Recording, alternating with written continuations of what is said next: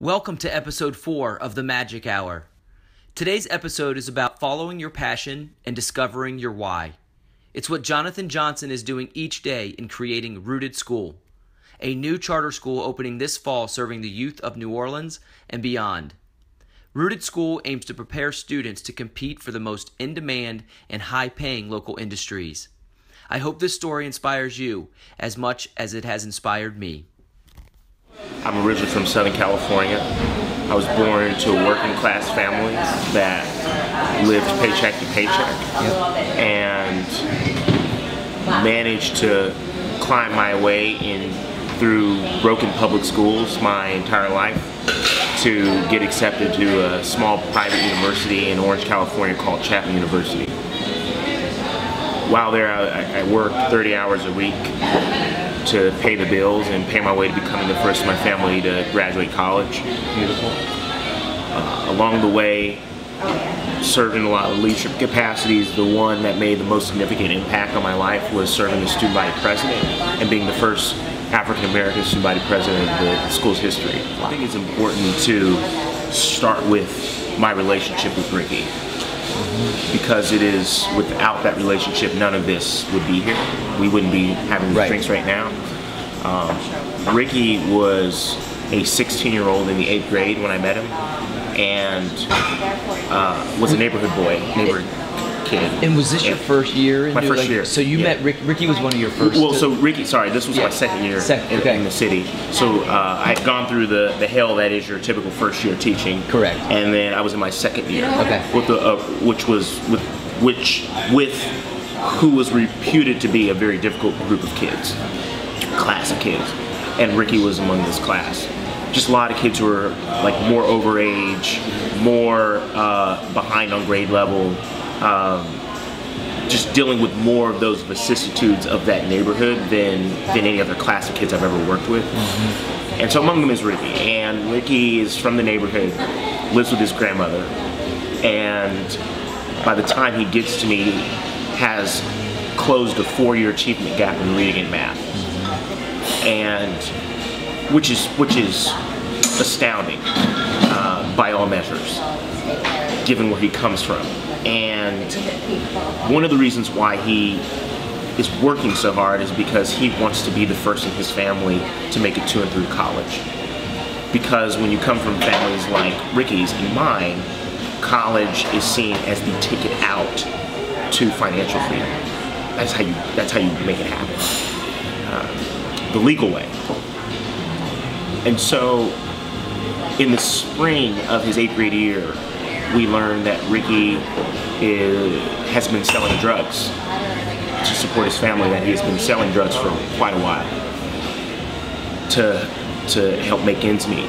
And it's two months before he's promoted to the ninth grade that we learn he's murdered during one of these drug deals by a fellow classmate. And, and Ricky's problem, as I saw it, was for him it was a rational choice to do work in the illegal economy.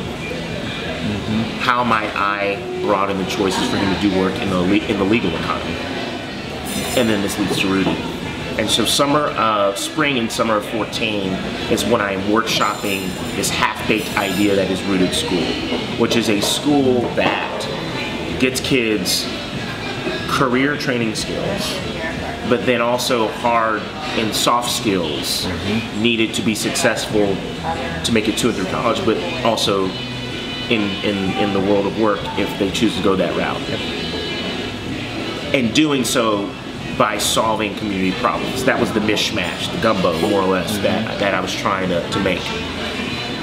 And in my prototyping, in my research, in my R&D phase, which is the latter half of 2014, we get to this more refined problem and this more refined solution that is rooted school today, which is a high school that opens this August that has the mission of providing students personal pathways to financial freedom.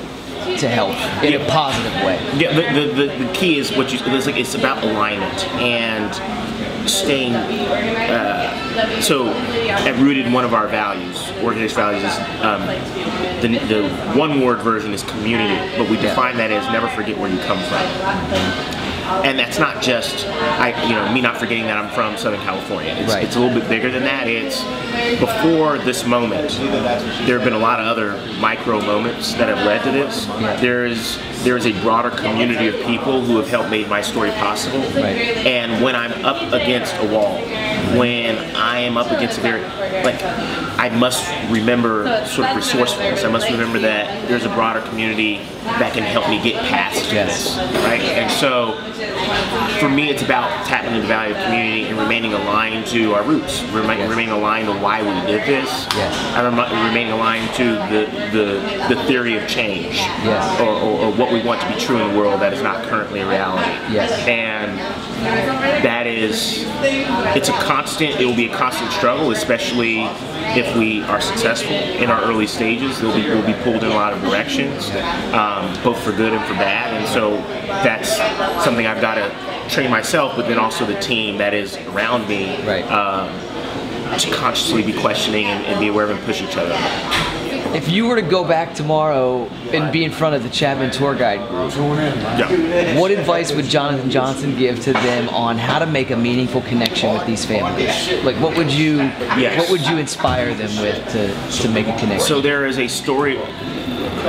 There's a storytelling framework that says story of me, story of us, and story of now. And that to me is the formula for a meaningful Marv-esque uh, tour. The story of me is lead with your story. Like, why are you there? You have hundreds, maybe thousands of schools you could have be, you could have gone to across the world. Yet you are here at this moment, this time. Why? That story needs to be what you lead with. It needs to be tight.